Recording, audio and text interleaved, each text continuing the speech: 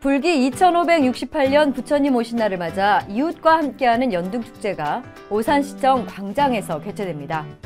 오산시 불교사업연합회가 주최하고 주관하는 이번 행사는 이날 오후 5시 식전 공연을 시작으로 봉축 법요식과 이웃 돕기를 위한 자비의 쌀 전달 순으로 진행되는데요. 이 밖에도 봉축 행사가 끝나는 오후 6시 30분부터는 앵두걸스와 려화, 당찬 등이 무대에 올라 화려한 퍼포먼스와 가창력을 선보일 예정입니다. 시민 여러분의 많은 참여를 바랍니다.